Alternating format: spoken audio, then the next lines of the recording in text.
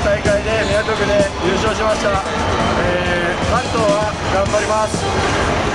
以上です。黒髪美人空手部4年副将の屋敷です。今年は女子過去最大人数となっております。精一杯頑張りますので応援どうぞよろしくお願いします。空手部4年主将の蘭光です、えーいつもあの応援に来ていただきありがとうございます。あの秋の大会が間近に迫ってきておりますので OB の方々やあのお友達いろいろ連れてきていただいてあの皆さんあの応援してください。よろしくお願いします。空手部3年羽鳥です。実践注目なんだ今一番勢いのある空手部は慶応だ。そうだ。つまり秋の大会で一番勝つのも慶応だ。そうだ